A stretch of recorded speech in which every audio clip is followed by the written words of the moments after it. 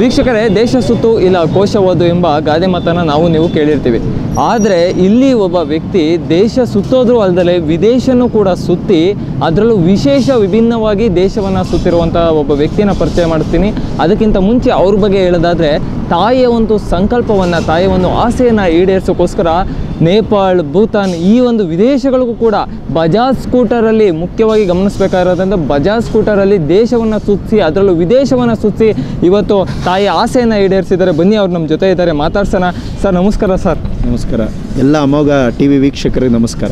Sir ಇದು ಒಂದು ದೊಡ್ಡ ಸಾಧನೆ ಅಂತಲೇ ಹೇಳ್ಬೋದು ಸರ್. ಬಜಾಜ್ ಸ್ಕೂಟರಲ್ಲಿ ದೇಶದಲ್ಲಿ ವಿದೇಶ ಸುತ್ತಿ ತಾಯಿಯನ್ನು ಆಸೆಯನ್ನು ಈಡೇರಿಸಿದ್ರ?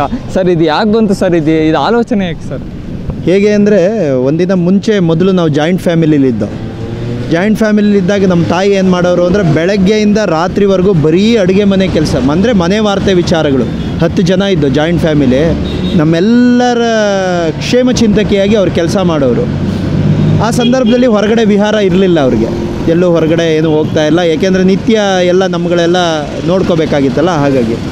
ಒಂದಿನ ಐದು ವರ್ಷದಿಂದ ನಮ್ಮ ತಂದೆಯವರು ಸ್ವರ್ಗವಾಸಿಗಳಾದರು. ಆ ಟೈಮಲ್ಲಿ ನಾನು ಬೆಂಗಳೂರಲ್ಲಿ ಕೆಲಸ ಮಾಡ್ತಿದ್ದೆ ಕಾರ್ಪೊರೇಟ್ ಟೀಮ್ ಲೀಡ್ರಾಗಿ ಕೆಲಸ ಮಾಡ್ತಿದ್ದೆ. ಮೈಸೂರಿಂದ ಕರ್ಕೊಂಡು ನಮ್ಮ ತಾಯಿನ ಕರ್ಕೊಂಡು ಬೆಂಗಳೂರು ನನ್ನ ಜೊತೆ ಇಟ್ಕೊಂಡು ಒಂದಿನ ಲೋಕಾಭಿರಾಮವಾಗಿ ಮಾತಾಡ್ತಾ ಇದ್ದೆ. ಅಮ್ಮ, ತಿರುವಣ್ಣಾಮಲೈ ತಿರುಕೋಯಿಲೂರು ತಿರುವಾರಂಗಂ, ತಿರುನಲ್ವೇಲಿ, ತಿರುಪಟ್ಟೂರು, ತಿರುವನಂತಪುರಂ, ತಿರುಪತಿ ಇದನ್ನ ನೋಡಿದೀಯಮ್ಮ ಅಂತ ಕೇಳಿದೆ.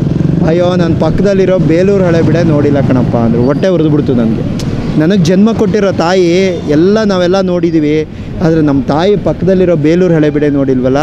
ಅವತ್ತು ನಂಗೆ ಹೊಟ್ಟೆ ಹೊಡೆದು ಒಂದು ಸಂಕಲ್ಪ ಮಾಡಿದೆ, ಅಮ್ಮ, ನೀನೇನು ಯೋಚನೆ ಮಾಡಿಬಿಡ ಕಣಮ್ಮ. ನಿಮಗೆ ಬೇಲೂರು ಹಳೆಬೀಡು ಒಂದೇ ಅಲ್ಲ, ಇಡೀ ಭಾರತನೇ ತೋರಿಸ್ತೀನಿ ನಾನು.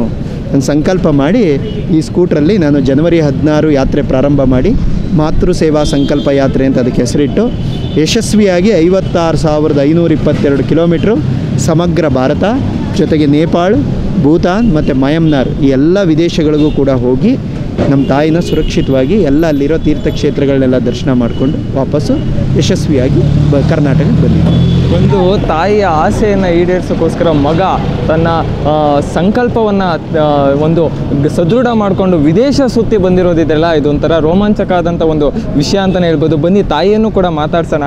ಅಮ್ಮ ನಿಮ್ಗೆ ಎಷ್ಟು ಖುಷಿ ಆಗ್ತಾ ಇದೆ ಇವಾಗ?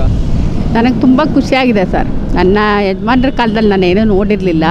ಬರೀ ಅಡುಗೆ ಮನೆ ಕೆಲಸಕ್ಕೆ ಸೀಮಿತ ಆಗಿಬಿಟ್ಟಿದ್ದೆ. ನನ್ನ ಅರವತ್ತೇಳು ವರ್ಷ ಜೀವನ ಕೂಡ ಅಡುಗೆ ಮನೆ ಕೆಲ್, ಕೆಲಸದಲ್ಲೇ ನಿರ್ತಳಾಗಿದ್ದೆ ಹೀಗಾಗಿ ಹೊರಗಡೆ ವಿಹಾರ ಇರಲಿಲ್ಲ ಅವಾಗ.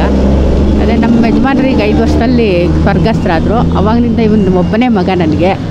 ಹಾಗಾಗಿ ಇವನು ನನ್ನನ್ನು ಬೆಂಗಳೂರಲ್ಲಿ ಕೆಲಸದಲ್ಲಿದ್ದ. ಹಾಗಾಗಿ ಅವನ ಜೊತೆಲೇ ಕರ್ಕೊಂಡೋಗಿ ಮೈಸೂರಿಂದ ಕರ್ಕೊಂಡೋಗಿ ಜೊತೆಲಿ ಇಟ್ಕೊಂಡು ನನ್ನನ್ನು ಚೆನ್ನಾಗಿ ನೋಡ್ಕೊಂಡಿದ್ದಾನೆ ನೋಡ್ಕೊತಾ ಇದ್ದಾನೆ. ಲೋಕಾಭಿರಾಮ ಮಾತಾಡ್ತಿದ್ದಾಗ ಕೇಳಿದ ಕೆಲವು ಸ್ಥಳಗಳ ಹೆಸರನ್ನ ತಮಿಳ್ನಾಡು ಕಡೆ. ನಾನು ಅದು ಯಾವುದೂ ನೋಡಿಲ್ಲಪ್ಪ ಈ ಪಕ್ಕದಲ್ಲಿರೋ ಬೇಲೂರು ಹಳೆಬೇಡೆ ನೋಡಿಲ್ಲ. ಅಂತ ಒಂದು ನಿರಾಶಾ ಭಾವದಿಂದ ಹೇಳಿದೆ.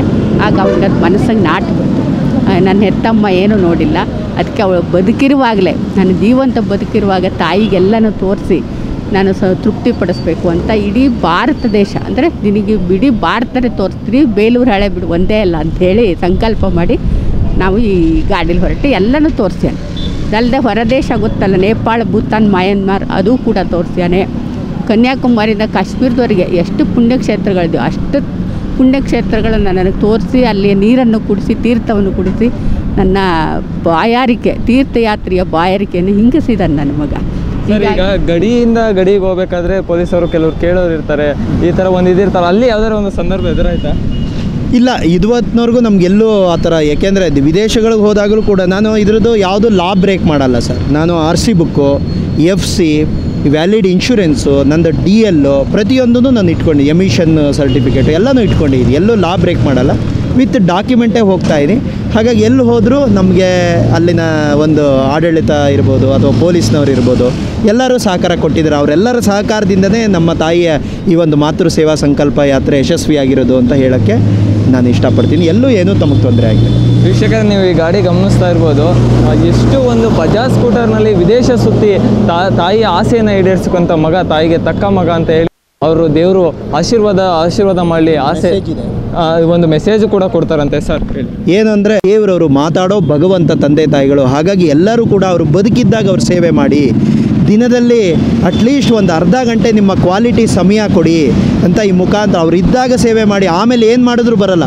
ಆಮೇಲೆ ಒಂದು ಫೋಟೋಗೆ ಹೂನ ಹಾರ ಹಾಕ್ಬಿಟ್ಟು ನಿತ್ಯ ಅದ್ರ ಮುಂದೆ ಭಕ್ತಿ ಸಮರ್ಪಣೆ ಮಾಡಿ, ನೀವು ನೂರಾರು ಜನನ ಕರೆದು ಊಟ ಹಾಕಿದ್ರೂ ಪ್ರಯೋಜನ ಇಲ್ಲ. ಅದ್ರ ಬದಲು ಇದ್ದಾಗ, ಅಮ್ಮ, ನೀ ತಿಂದ್ಯಾ ನೀವು ಉಂಡ್ಯಾ ಅಂತ ಪ್ರೀತಿಯಿಂದ ನೋಡ್ಕೊಳ್ಳಿ. ಎಲ್ಲದಕ್ಕಿಂತ ಹೆಚ್ಚಾಗಿ ಪ್ರೀತಿಯಿಂದ ದಿನದಲ್ಲಿ ಒಂದು ಅರ್ಧ ಗಂಟೆ ಅವ್ರ ಪಕ್ಕ ಕೂತ್ಕೊಂಡು ಮಾತಾಡಿ ಅಂತ ನಾನು ಈ ಮುಖಾಂತರ ಎಲ್ಲರನ್ನೂ ಕೇಳ್ಕೊತೀನಿ. ವೀಕ್ಷಕರೇ, ಈ ಮಾತು ಒಂದು ಅದ್ಭುತವಾದಂಥ ಮಾ, ಸ್ಫೂರ್ತಿಯಾದಂಥ ಮಾತು ಅಂತಲೇ ಹೇಳ್ಬೋದು. ಕ್ಯಾಮ್ರಾ ಪರ್ಸನ್ ಹರೀಶ್ ಜೊತೆ ಗಜೇಂದ್ರ, ಅಮೋಘ ಟಿವಿ ತುಮಕೂರು.